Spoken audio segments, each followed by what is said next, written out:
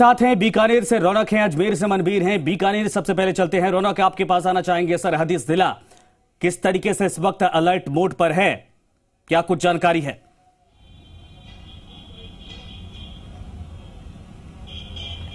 जी बिल्कुल संजय बीकानेर पूरी तरह से चाक चौबंद है। बीकानेर की अगर मैं बात करूँ तो तमाम बॉर्डर इलाकों पर पुलिस और प्रशासन की पैनी नज़र बनी हुई है। कहीं ना कहीं ये कहा जा रहा है कि जो एक किलोमीटर का जो पूरा बॉर्डर इलाका है वो पूरी तरह से चाक चौबंद है या ये कह सकते हैं कि परिंदा भी अब जो है वो पर नहीं मार सकता। गंगानगर बीकानेर जैसलमेर और साथ ही साथ बाड़मेर इन चारों जिलों में पूरी तरह से हाई अलर्ट कर दिया गया है और हम्म। चाक चौबंद कर दिया गया है हम्म। अगर मैं बात करूँ बीकानेर की तो यहाँ पर कुछ फेक कॉल्स जो है लगातार मिल रहे हैं और उन फेक कॉल्स की वजह से जो है काफ़ी। जो है पुलिस के सामने एक चुनौती खड़ी हो गई है कि सेना के मूवमेंट्स की जानकारी जो है उन फेक कॉल्स के ज़रिए मांगी जा रही है। खासतौर पर बात करूँ खाजू वाला सबसे संवेदनशील इलाका है जब पिछले युद्ध के दौरान जब कारगिल युद्ध हुआ था तब सबसे ज़्यादा हम्म। इन्हीं इलाकों में जो है सेना का मूवमेंट देखा गया था। और अब जिस तरह से रौनक लेकिन एक खबर ये भी आई है बीकानेर और आसपास के सरहदी जिलों से कि वहाँ पर धमाके की आवाज़ आ रही है लोग थोड़ा सहमे हैं। हालाँकि अलर्ट जारी किया गया है कि अगर ऐसी नीड होती है ज़रूरत होती है तो आसपास के इलाकों को गाँव को खाली करवाया जा सकता है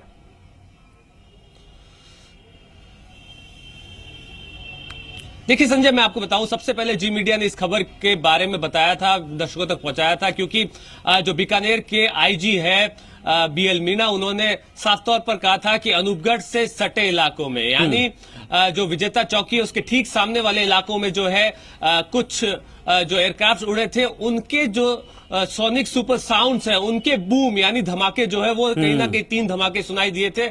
उससे कहीं ना कहीं ये साफ़ प्रतीत होता है कि जिस तरह से वायुसेना ने सर्जिकल स्ट्राइक पार्ट टू किया उसके बाद पाकिस्तान पूरी तरह से बौखलाया हुआ है। उसकी बौखलाहट जो है वो सरहद के उस पार साफ़ तौर पर दिखाई दे रही है बिल्कुल तो सही। पुष्टि कहीं ना कहीं बीएल मीना रौनक सही आप कह रहे हैं मनबीर भी हमारे साथ एक बार उनके पास भी चलते हैं।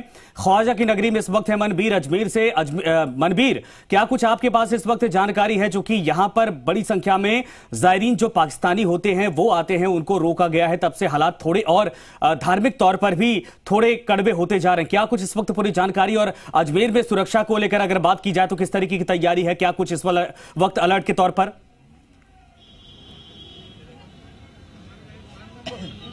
हाँ देखिए संजय अगर अजमेर के हालातों की हम बात करते हैं तो जिस तरीके से पूरे राजस्थान में अलर्ट किया गया है हम्म। और ये हमेशा से रहा है कि पाकिस्तान हमेशा कायराना हरकतें करने से बाज नहीं आता है और यही हम्म। वजह है कि अंदेशा इस बात का भी है कि कहीं वो भारत के सांप्रदायिक सौहार्द को आहत करने की कोशिश न करे हम्म। यही वजह है कि राजस्थान के जितने भी बड़े धर्म स्थल है वहाँ की सुरक्षा व्यवस्था को बढ़ाया गया है चाक चौबंद किया गया है अजमेर की चाहे दरगाह की बात कर लेते हैं पुष्कर की बात कर लेते हैं ये दोनों स्थानों के ऊपर सुरक्षा व्यवस्था चाक चौबंद कर दी गई है साथ ही साथ जितने भी इलाके हैं वहाँ पर खुफिया तंत्र को सतर्क कर दिया गया है हम्म। ताकि किसी भी तरह की नापाक हरकत अगर पाक के द्वारा की जाती है तो उसकी पूर्व सूचना जो सरकार है उसके पास हो सेना है उसके पास हो इसके साथ साथ ही पूरे अजमेर की अगर हम बात करते हैं क्योंकि यहाँ पर पूरे दिन जायरीनों का आना जाना लगा रहता है देश भर से जायरीन यहाँ पर पहुँचते हैं हम्म। एक अलग तरह का उत्साह लोगों में है हम्म। भारतीय सेना के प्रति भारतीय सेना के शौर्य के प्रति। हम्म। मुंबई से आया हुआ ये एक परिवार इस समय हमारे साथ में है ये भी कुछ कहना चाहेंगे।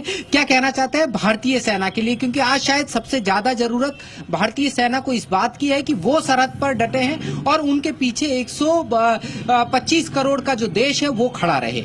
सर हमें तो बहुत खुशी हो रही है कि उन्होंने पाकिस्तान के अंदर घुसकर बम छोड़ा और इतनी खुशी हो रही कि हम लोग बता नहीं सकते। बस मैं उनके लिए अपनी जो सेना है, अपनी जो नौजवान है, उनके लिए मैंने दो लाइन लिखा हूँ।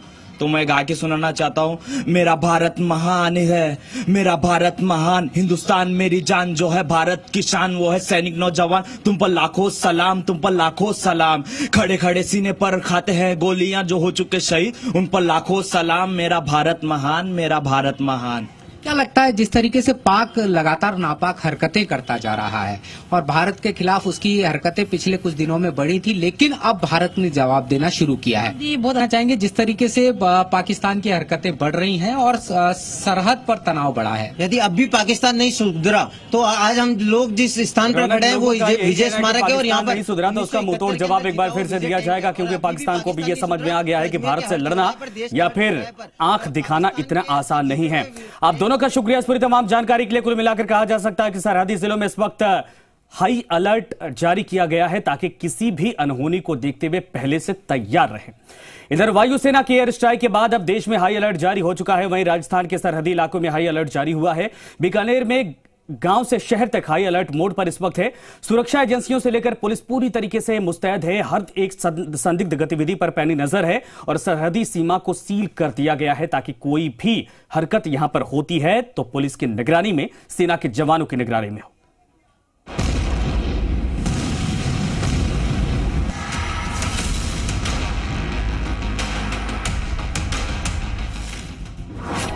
राजस्थान के सरहदी इलाकों में अलर्ट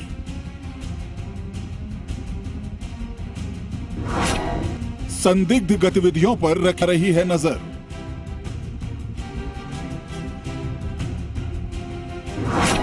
बीएसएफ समेत तमाम एजेंसियाँ अलर्ट पर।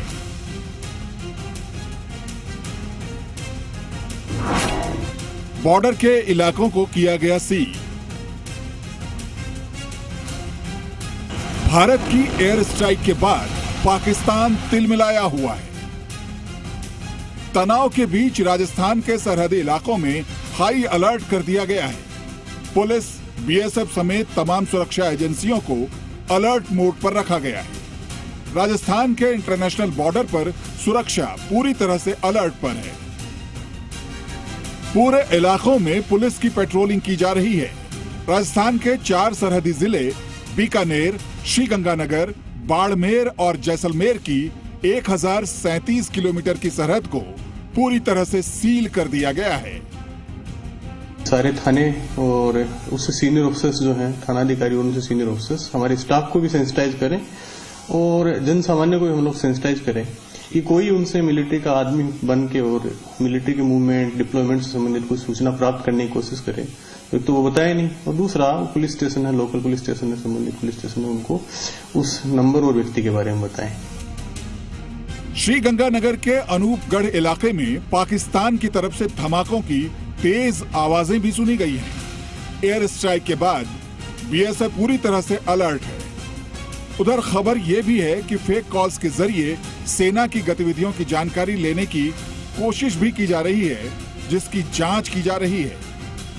हमारी चारों जिलों की पुलिस है, स्पेशली तीन जो बॉर्डरिंग डिस्ट्रिक्ट हैं, उनकी पुलिस है, वो काफ़ी अलर्ट है। कुछ ऐसी गतिविधि हुई थी जिससे प्रतीत होता है कि सेना के मूवमेंट से संबंधित किसी ने कोई इनपुट कलेक्ट करने की कोशिश की, कोई मेजर पोज करके और फ़ोन करके और नोर एरिया के अंदर, कुछ थानों के अंदर फ़ोन ऑन किए गए थे। बट हमारे आदमी ने उनको भागते हुए उस नंबर की डिटेल निकाल के और इंट ब्रांच को अवेलेबल हम लोगों ने कराई है। राजस्थान के बॉर्डर का एक बड़ा हिस्सा पाकिस्तान से जुड़ा हुआ है। लिहाजा सरहदी इलाकों में सुरक्षा एजेंसियों को अलर्ट कर दिया गया है। हालाँकि सुरक्षा एजेंसियों ने किसी भी तरह की पैनिक स्थिति से इनकार किया है। रौनक व्यास, जी मीडिया, बीकानेर। तो चलिए अब देखते हैं दो मिनट में